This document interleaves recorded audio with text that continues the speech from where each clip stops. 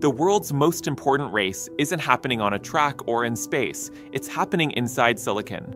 At the center stands NVIDIA, the king of AI chips, whose GPUs power ChatGPT, Google, and nearly every major breakthrough in artificial intelligence. But across the Pacific, China is rising fast.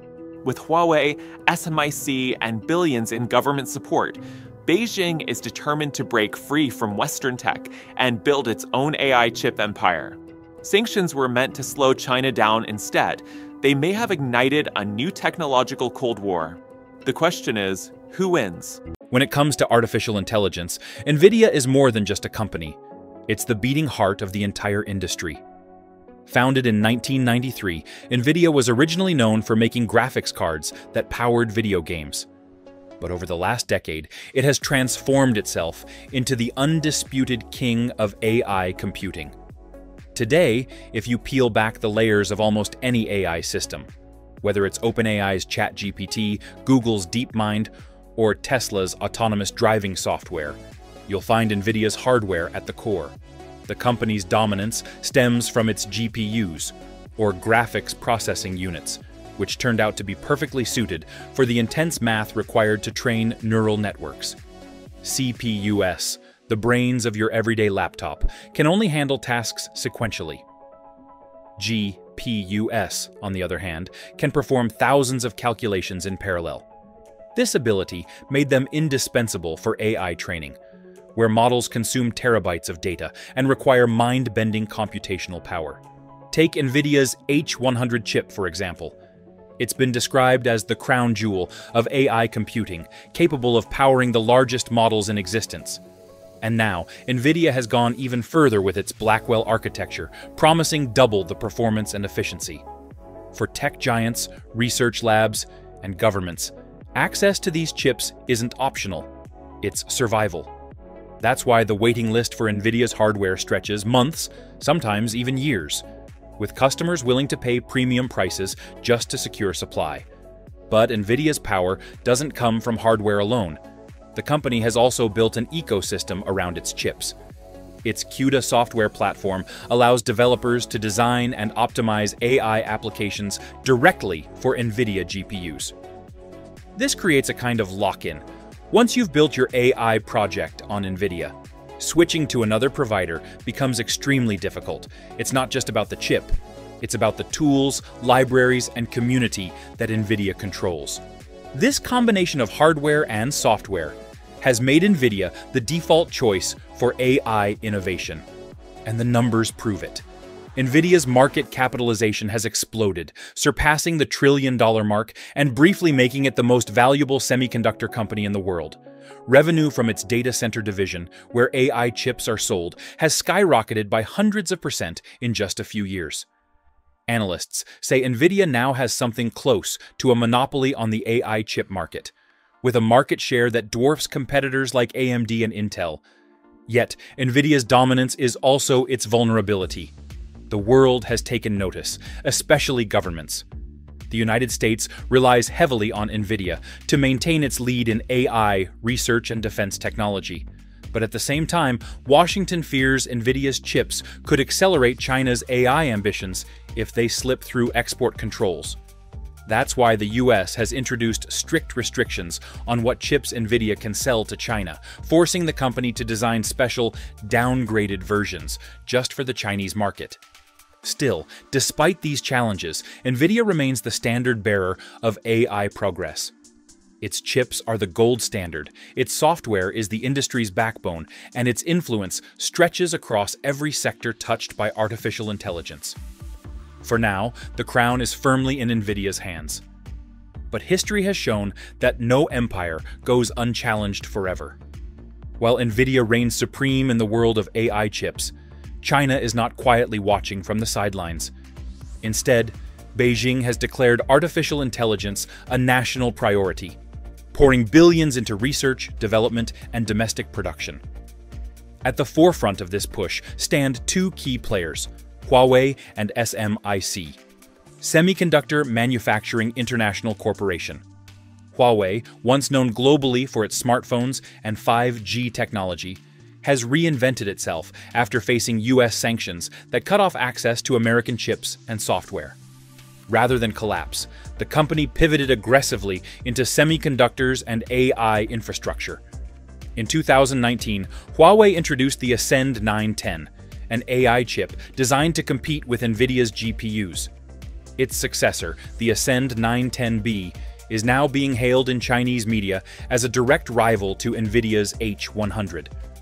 While experts argue that Huawei still lags in raw performance, the very fact that it has developed such advanced chips under heavy sanctions shows the determination of China's engineers. SMIC, on the other hand, is China's largest contract chip manufacturer, its version of Taiwan's TSMC. Despite facing restrictions on access to cutting edge manufacturing equipment, SMIC has made surprising progress. Reports suggest the company has already achieved 7 nanometer chip production, a feat many thought impossible without advanced Western lithography tools. These breakthroughs are helping Huawei and other Chinese firms to produce chips domestically, reducing reliance on foreign suppliers. The Chinese government is fully backing this movement. Under initiatives like Made in China 2025 and the newer China Standards 2035, Beijing has earmarked tens of billions of dollars to fund semiconductor startups, subsidize research labs, and expand AI training infrastructure. Entire AI factories are being built across the country. Massive data centers designed to process and train large language models, computer vision systems, and autonomous driving algorithms. These facilities don't just use Huawei's chips, they also create demand that ensures continuous improvement and scaling. For China, this is more than just a business opportunity, it's about technological sovereignty. In Beijing's view, dependence on NVIDIA and US suppliers is a national security risk. Every sanction, every export restriction is seen as a reminder that China's future cannot rest in foreign hands. That's why the government treats semiconductor independence as a matter of survival. And there's another layer to this story the Chinese market itself. Even though NVIDIA dominates globally, China is the world's largest consumer of AI chips, accounting for nearly one third of global demand. By nurturing domestic champions like Huawei and SMIC, Beijing ensures that this massive demand can be redirected toward homegrown solutions. Over time, this could create a parallel AI ecosystem. NVIDIA and US chips dominating the West, while Huawei and SMIC control the East. Of course, challenges remain. Huawei and SMIC still trail NVIDIA in performance, software ecosystem, and developer adoption. NVIDIA's CUDA platform has a decades-long head start that can't be easily replicated. But progress is undeniable. Each new Huawei chip release narrows the gap. Each SMIC manufacturing breakthrough reduces dependency and each government subsidy accelerates the momentum. China may not yet have dethroned NVIDIA, but the writing is on the wall. This is no longer a one horse race. The future of AI chips is being shaped not just in Silicon Valley, but in Shenzhen and Shanghai. If you're watching this video, your data, your investments, and your privacy could be at risk, especially in today's volatile digital landscape. That's why there's never been a better time to take one smart step to protect yourself online NordVPN. NordVPN is one of the most trusted virtual private networks in the world, and for good reason. Whether you're tracking stock movements, managing your crypto wallet, or simply reading global financial headlines, NordVPN encrypts your connection and keeps your personal data safe from prying eyes. And here's the best part right now NordVPN is offering an exclusive deal of up to 73% off for our viewers. Just click the link in the description and lock in your online security today. Stay smart. The race between NVIDIA and China's chip makers isn't just a business competition. It's a battlefield shaped by geopolitics. Artificial intelligence has become a cornerstone of global power, and the United States views control over advanced chips as a matter of national security. That's why Washington has moved aggressively to restrict China's access to NVIDIA's most advanced products. In 2022, the US government imposed the first wave of export controls, banning the sale of NVIDIA's A100 and H100 chips to Chinese firms. The idea was simple, If China couldn't access the hardware needed to train massive AI models, its progress in artificial intelligence would slow dramatically.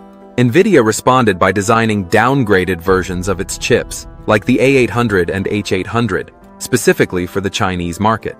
These chips were less powerful, meeting US regulatory requirements, but still valuable enough to sell in huge volumes. However, Washington soon realized that even these watered-down versions were giving China too much capability. In 2023 and 2024, restrictions tightened further, leaving NVIDIA with fewer options. The company, once generating billions from China, its second largest market, suddenly faced a wall. Its revenue streams were disrupted, and Chinese firms like Huawei had no choice but to double down on domestic alternatives. The irony is that sanctions, while intended to cripple China's AI ambitions, may have had the opposite effect. By cutting off access, the US forced Chinese companies to innovate faster. Huawei's rapid development of the Ascend 910B and SMIC's breakthroughs in advanced chip manufacturing were direct responses to these restrictions. Instead of slowing Beijing down, the export controls lit a fire under its tech sector. At the same time, the sanctions placed NVIDIA in a difficult position. On one hand, it must comply with US law. The company cannot risk violating export rules. On the other hand, losing access to such a massive market creates long-term business risks. China represents not just sales, but also influence. If NVIDIA is absent, Huawei and SMIC will fill the void. And once Chinese companies become self-sufficient, NVIDIA may never regain that market. There's also the question of global alliances. The United States has pressured its allies, Japan, the Netherlands, South Korea, and Taiwan, to restrict exports of chip-making equipment to China. This is why companies like ASML in the Netherlands cannot sell their most advanced lithography machines to SMIC. Yet China has proven resourceful, finding ways to repurpose older equipment and still achieve breakthroughs. In this chess game, every move by Washington is met with a countermove from Beijing. For investors, this creates a paradox. NVIDIA remains the global leader in AI chips with unmatched technology and software dominance. But geopolitical risks hover over the company like storm clouds. If the US-China rivalry escalates, NVIDIA could find itself locked out of the world's largest AI market entirely.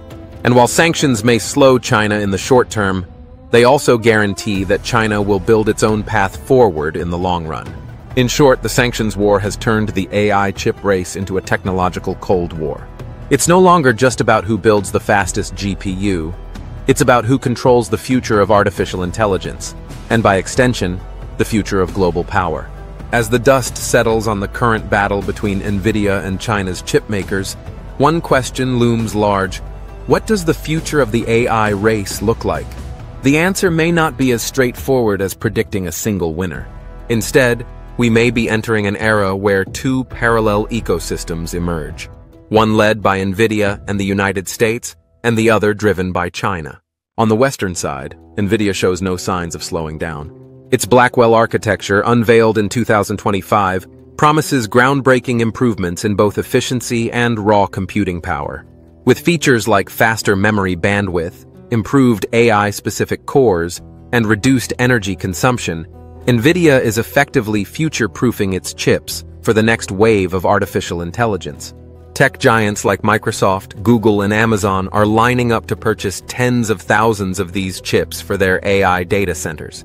NVIDIA isn't just a chip supplier anymore. It's the backbone of the world's AI infrastructure. Beyond hardware, NVIDIA is also expanding into AI services. Its AI Factories concept where companies can rent access to massive GPU clusters for training models, is already reshaping the market. This model creates recurring revenue streams, making NVIDIA less dependent on hardware sales alone. In the next five years, NVIDIA could evolve into something more than a chip company, a full-scale AI platform provider. Meanwhile, in China, the momentum is building rapidly. Huawei's Ascend chips and SMIC's manufacturing breakthroughs are only the beginning. Beijing is committed to building a self-sufficient AI ecosystem, from chip design to cloud services. Already, major Chinese tech firms like Baidu, Tencent, and Alibaba are adopting homegrown chips for their AI projects. With government subsidies, these companies don't have to worry about short-term losses. Their mission is clear. Close the technology gap with NVIDIA, no matter the cost. Some analysts believe that within five to seven years, Chinese chips could rival NVIDIA in performance. The difference may not be in absolute speed, but in accessibility. While NVIDIA's chips are expensive and often in short supply, China's domestic products could become widely available across Asia, Africa, and the Middle East, regions where U.S. export controls are less effective. This could give China a strategic advantage in shaping the global AI landscape outside the West. The real question is whether the world will converge or fragment.